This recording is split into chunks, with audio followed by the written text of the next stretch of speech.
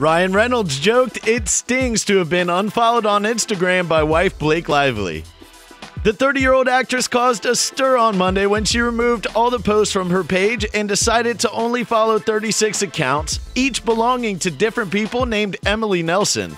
And her spouse claimed the snub was only the first move she's made to remove him from her life. Asked on Nova Radio show Smallzy's Surgery how he felt about the social media snub, Ryan quipped, Yeah, she did. Very sad about that. It stings. It's a terrible way to find out that you've been kicked out of the house, to be honest. Absolutely terrible. And the Deadpool star claimed the couple's daughters, James 3 and 19 month old Ines, wouldn't care about the Instagram rift. What's up, you bunch of keyboard warriors? If you like what we do, and you should, be sure to like and subscribe. It keeps us from having to turn tricks on Hollywood Boulevard.